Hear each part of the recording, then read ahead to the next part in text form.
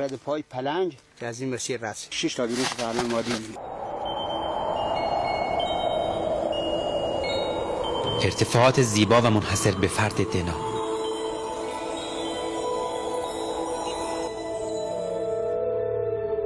سوزوی این گرگ گرسنه نشانه خوبی برای حیات وحش اینجا نیست. شکار. هر روز می‌بینی.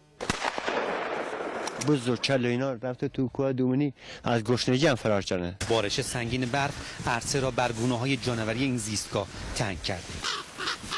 میان میریزن بی تو روستا از گشنگی تو باغا تمام شاخهای درختامون خوردن. واقعا وضع سخته. این مشکلش ایشون نیاز داره نیاز الوفه داره. حالا شرایط برای شکار و شکارچیان بیرم مهیا شده است. نزدیک زاده اصلی اینو شکار شکنن.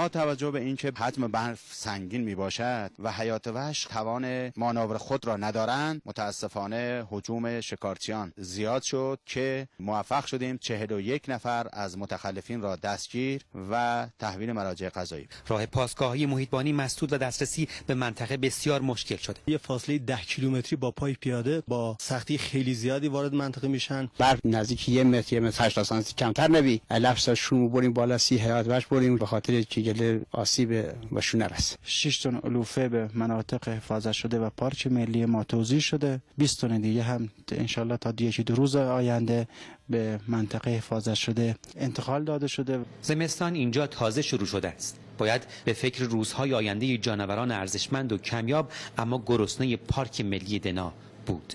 میدوانا چیز دستشو بر نمیاد مردم هم چه چیزی ندارن بهشو بدن؟ اینا اصلا نیاز به علوفه دارن بالجرد باید بده. بودجه ما نیاز داریم که مثلا هم علوفه خریداری بشه. خیلی سریع با جاده های ما باز بشه. در وهله دوم از جایی که به راحتی امکان انتقال این علوفه به زیستگاه ها وجود نداره تهیه بالگرد می‌تونه به راحتی مشکل ما رو حل کنه.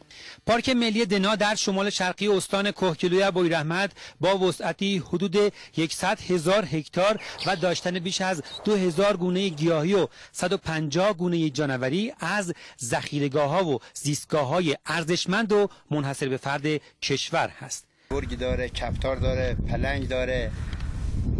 روبا داره گربه وحشی داره. به ازای هر هزار هکتار باید یک می‌توان کار حفاظت انجام میده. ولی در استان ما با توجه به کمبود نیرو هر چهار هزار هکتار رو یک نیرو حفاظت می‌کنه. ردفای خیس سر برف اون روز صبح رفت با رفت بالا.